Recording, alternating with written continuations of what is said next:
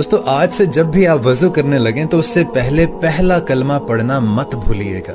क्योंकि हमारे नबी पाक सल्लल्लाहु अलैहि वसल्लम ने इरशाद फरमाया कि जिस शख्स ने वज़ू करने से पहले पहला कलमा पढ़ लिया तो अल्लाह ताला वज़ू के हर कतरे पर एक फरिश्ता खड़ा कर देगा, जो कयामत तक वो कलमा पढ़ता रहेगा। और जिसका सवाब कलमा पढ़ने वाले को कयामत तक मिलता रहेगा। सुबहान अल्लाह।